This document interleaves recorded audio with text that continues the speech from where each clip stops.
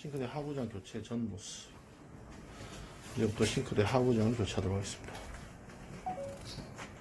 싱크대 철거 후 뒤청소 후 모습입니다. 이제 하부장을 설치하도록 하겠습니다. 실전 교육 중입니다.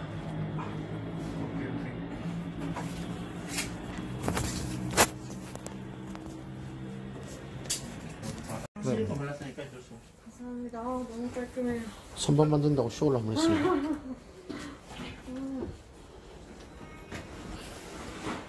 여기가 제일 여기 핵심입니다. 여기가 아, 여기.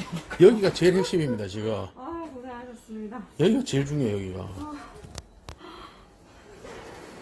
아 가스레인지 가스도 연결됩니다.